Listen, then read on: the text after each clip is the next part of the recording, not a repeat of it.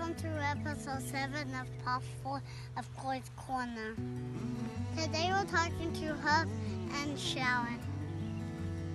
I think it well I got to give Gail and and and Momo And Type. and Kala.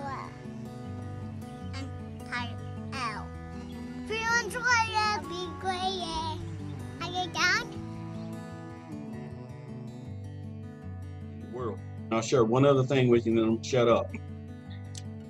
Uh, I had a girl come into my office one day, and we don't meet every day for prayer and all this before we start our day. And we've been there working together probably for. You know, she came in my office and said, "Can I talk?" I said, "Sure." And she closed the door, uh, and she, I turned around to me, and she was crying, and said, "What's wrong?" First words out of her mouth was, I know you're a man of God. And I found out that I possibly could have something wrong physically, cancer type thing. And she asked me if I would. I said, Oh, absolutely. And I told that Tamara, and I said, Tamara, I have not said anything other than one of our policies were we uh, are honest with ourselves, first of all, very honest with ourselves, follow the policies and procedures of the company, and we tell the truth. Those were the things, three things that I didn't. I said everything else with myself. And those are the only things I didn't go in there and tell them I go to church and I'm street preacher, whatever it might be. So what I'm saying in all that is not, I hope this doesn't come across as arrogant. What I'm saying is we can live lives where people see Jesus in us and they want it. And not long after that, got a call on a Sunday morning. Think about this. Got a call on a Sunday morning from a co-worker saying, uh, I need some help. And I said, what is it? I'm thinking, you know, I got to go get him some gas or, you know, whatever. He said, I've got a friend at the hospital sick. You pray with me. Wow. Okay. So all of that is, this is not about her. This is about us living a life Christ, and people will see that. And you don't have to go around with a Jesus shirt on or a sign. And I'm saying, I'm not saying that's that's wrong, but I'm saying at the end of the day, you can say a whole lot. People are looking at who you are. They're looking at who you are. Oh yeah, I'm for this and I'm for that. And the rubber meets the road, and there's nowhere around it.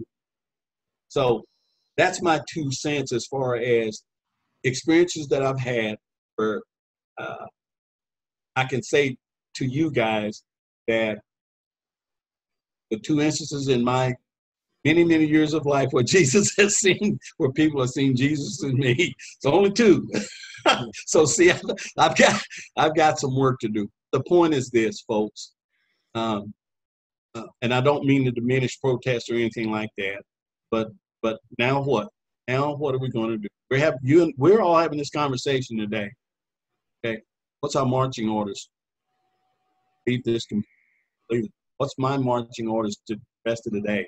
What are my marching orders in relationship to me? And, and, and I have to realize that I'm accountable to all you guys in my life. I'm accountable to you guys in everything that I do say because you never know who you're talking to or who might be impacting by what you're doing. Saying the last thing you want somebody to say, "Oh, he's an elder at the church." You're kidding me. Or he's the youth minister at the church. You're kidding me. Or she goes to church. You know, what they're saying is that we're not choosing consistency in our character because people see different folks depending on the situation.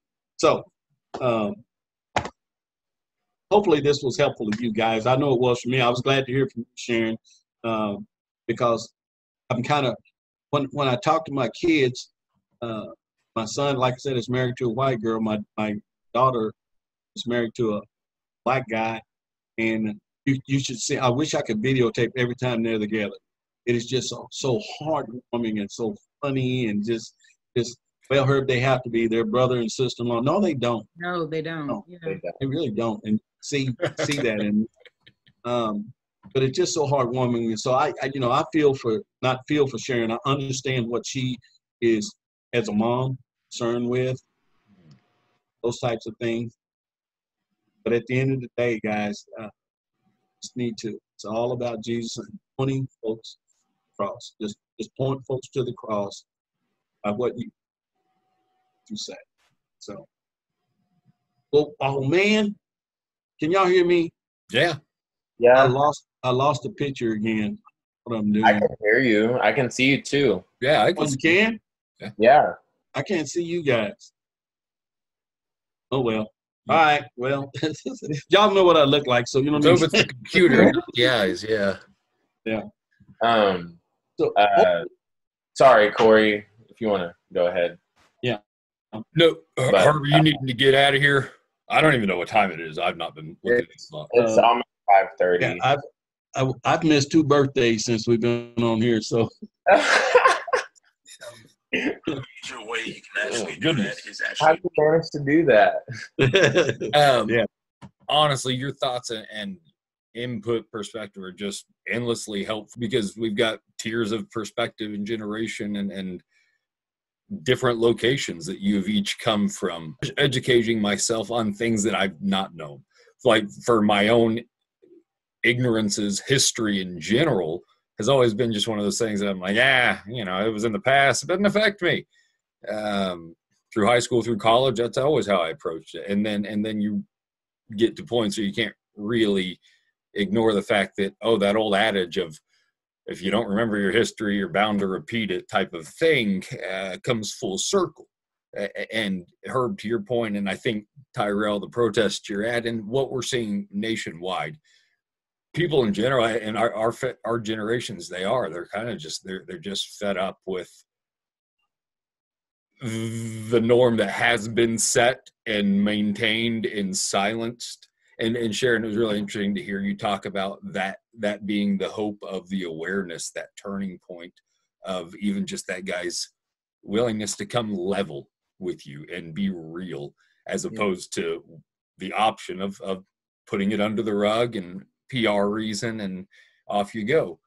To see where we're at and you guys alluded to it. Y'all watched the Rodney King stuff in, in 94 and how a nation responded or didn't respond and what that looked like from different parts of the country. I am I am beyond thankful just to have opportunities to sit down and talk with y'all and to hear how we can try and be that to each other and, and show Jesus to each other with listening, learning. What what is what is your advice and next step for for people moving forward from here? I know Sharon, you've been getting that question. What can we do? A lot, and, and even more to Herb's point of just the action. Where's that look like in our lives when we're at school, when we're at work, in, in a, a general capacity of interacting at church? So, how would you advise people as we sort of wrap this up? This is a productive way to to move forward and, and to try and help make progress to being better. Um, for I, uh, I guess just this is just my opinion. I just I hope that people are more willing to listen. In the past, and I've been met with anger off the bat. The second I try and mention any of this, it happened with my dad. If you don't know, my parents are white. I told my dad and my mom, I said, "Hey, I think we need to have a conversation about all of this. I was immediately met with pushback from my dad, who is very, very, I guess, opinionated. Um, and I, there just didn't seem like any willingness to listen. And I'm like, I'm, I'm your son. Like, can you? I just want parents who are going to listen to me, people in general who are going to listen.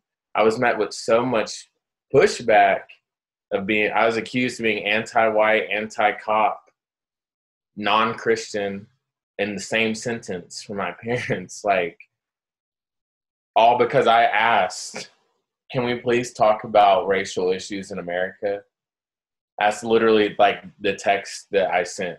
I asked to talk about that, and I was immediately met with anger. So, of course, when my dad tried to call me, I wasn't answering because I was like, I know he's mad, and I then I don't then I'm like, do I even want to have this conversation anymore? You know? Um, but I just, I, I really hope that um, moving forward that people are willing to listen because the only way the change is going to happen is if we do something. But first, people have to be willing to listen, period, and just be willing to listen to opinions that differ from from ours. And I have to be willing to listen too. Like I like, you know, that my when I me and my mom were finally able to talk about all this. Me and my dad never talked. so me and my mom talked, and uh, it was a good conversation. I literally called my sister and I said, I had the best conversation with mom I've probably ever had, ever. I'm going on this. I'm 27. They took me in when I was 17, so this is year 10. And I said, I probably had the best conversation I've ever had with mom. Period because she explained a lot of things to me about the way her and dad feel that I I wasn't aware of. I had to listen. You know, I asked them, "Hey, can you just be conscious of you know the things that I deal with as a black person?" Y'all brought me in, so like that that you know, there's a lot y'all don't know, but there's also a lot that I didn't know, and you know, my mom educated me in some ways. And kind of she was like tyrell i really you know in her mind she felt that we didn't need to have that conversation because she she was more of like tyrell you've seen our actions you've seen our actions towards you i mean they sent me to college i got a truck i mean they let me live in their house at the last two years of high school. They hadn't had kids in their house since 2002, and I showed up in 2010. Like, you know, and I and I, and I was like, okay, I was like, okay, okay, I can understand why my mom's like, why are we having this conversation? You know, I can understand that, and I and I understood it. I was like, okay, that makes sense. So I just want the conversation to be open, both sides, both everybody, everybody conversation just needs to be open um, and civil. I don't like. There's no need for shouting. There's no need for trying to drill in a point and thinking I'm gonna win this argument, the hill I die on. You know, just no. That's not. That's not it. That's not how we're supposed to operate. That's not how Jesus calls us to operate. You know, because um, I mean, Jesus, you know, he was like, "Hey, follow me." You know, he wanted everyone, you know, to follow him but he's like he's not sitting here condemning every single person who didn't want anything to do with him, you know, or whose opinion deferred from his. We shouldn't be like that either. So I just hope that we get to have open conversation moving forward, and then these conversations become normal to where they're not even awkward anymore. So that's where I hope that we can be moving forward, um, especially the church. And honestly, in my opinion, New Hope is the right place for all of this because there's a lot of open minds in New Hope, and I'm very thankful to be a part of it. I'm very thankful to be a part of this conversation in general. You know, ten years ago, I, this conversation, I, I don't think this conversation would have happened, honestly. And so, just the fact that this conversation is a thing, just the you know the fact the elders came together to say, yeah, like shoot, let's do it. Like, let's go for it. Like that, you know, when Corey called me back, I was kind of shocked. One is not shocked that they were like, okay, yes, but more shocked that the response was so quick. It was like, hey, yeah, Tara, we're good. We're good to go. And I'm just like, oh, wow, already? Like they didn't deliberate. Like, you know, you know, you just you you you know you want the best, but you prepare for the worst. You know, just and so um, I was just I was shocked, but um, I'm I'm just happy. I'm happy that I'm gonna go away from this whole conversation happy and feeling better. That's awesome. Listening. That's great. Sharon. I think um, and I know if my kids watch this, which I don't know that they will, but they always say I have terrible timing with things. But um, I also like these conversations are really good. But if we're going to do what we're saying, which is be like Jesus, you need to be prepared. So like um the people who are like, you know what? I was never racist. I just taught my children that treat don't treat anyone poorly because of the color of their skin. Well, then and then they're, then they're the one shocked that their child is in an interracial marriage. When we say be like Jesus, it's not just to one group of people to another. It's because you can't control them. You can control you. And in that same time, when you're like, yeah, they need to treat me fairly and treat my kids fairly, but then I get mad at the lady at the fast food restaurant who didn't get my order right. Like when you say be like Jesus, it's not be like Jesus in the area where it applies to you. It's be like Jesus. And and just like we give ourselves grace when we mess up and say, "Okay, God, forgive me for that." We're going to have to give all of ourselves grace in this conversation for us to get to a better place because I'll have people who will make a comment that might be insensitive or um, condescending. And then, depending on my relationship with that person, I might might either let it go or I might just be like, "Hey, just so you know, I know your heart." But when you said that, this is how it came across to me. And just like I would have to have grace not to just flip out when they say that, just like Tyrell is saying, if I open the door to say, when you did this, this hurt me, please hear me. Please, you know, be there. But like, I think the biggest shock is that when we tell everyone to start being like Jesus, there are things that God is going to come in and take care of that we have no clue. We think it's about this, and God is like, no, I'm about to overhaul this whole thing, and you don't even know it yet. Yeah. You know, and it's gonna put us in a better place, but it's just like when you're cleaning out a room. The beginning of the cleaning process, it looks worse than it did when everything was hidden and compacted together. Yep. and so and to so to not get discouraged to continue to say, okay, God, we're relying on you to get through this. And right now, this looks work. Like, why did I even say anything? And in that moment, to say, you keep coming back to me every time, every day. You keep coming back to me. So that maybe in the next 10 minutes, it don't look so great. But the next year, you're like, I never thought I would be in this place at this time in this way. So I think my biggest thing is just the way we fix it is to be like Jesus, but be ready because mm. it's and I'm and, and I think as I'm saying this, I'm just letting it bounce off my computer screen because that means if I'm gonna tell people to be like Jesus, I can't get mad because somebody does something that you know that I think well this deserves my wrath, you know, mm. whereas those people need to be nice to me, you know, like you have to you have to embrace it all and the thing is is god has equipped us all to do that he knows where all of us are coming from he knows all of our stories and how difficult it is for me to go to someone and to say um this really hurt me when you did that like that would be difficult for me tyrell seems like an awesome person. By the way, when I see you at church, I'm gonna give you a big old hug because I've never had this long a conversation with you. No, I but, know. but, like, he seems like he's very open to say, "Hey, this is how I'm feeling. I want to have this conversation." That is like, I'm very happy I decided to do this, but I almost didn't. so, like, for me to to say, "Hey, when you said this, it could like." everyone's their own individual. So to be available and ready to offer grace to ourselves when we mess up, to not have some some people are just I feel so guilty. You mess up, I mess up. That's what Jesus is for. If we were going to be perfect, what would be the point of Jesus? So to give ourselves grace, but to understand if we're going to invite God to do a thing, we need to let him do it. You hit the nail on the head.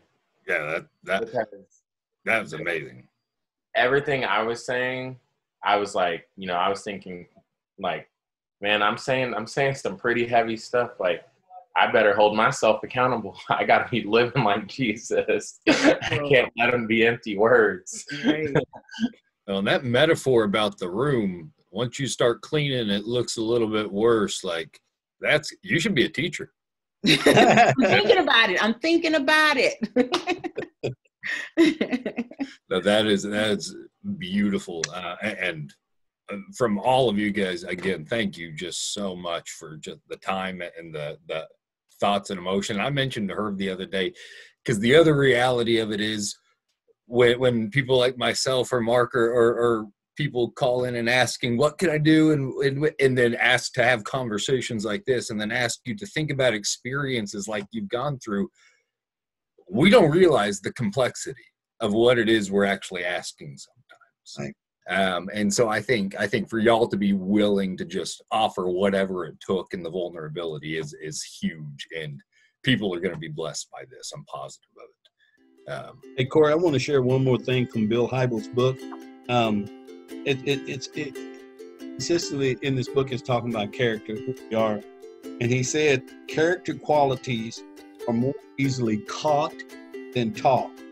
It's like young plants, like Sharon was saying, they develop best. We do our best and want to be better in a warm, nurturing atmosphere. Um, and speaking about plant, and that is exactly what God offers. Best possible example of character, Jesus Christ. Best possible school for character. Today is not too late to take the first step of courage and say, Yes, Lord, I want to be like Jesus. Please take me into your family. Love me into your life. And like Sharon said, uh, say it, be ready. Because God's going to answer that prayer um, uh, in more ways than one. Want to be like me? Want to be like my son? Okay, and He'll answer that prayer for us.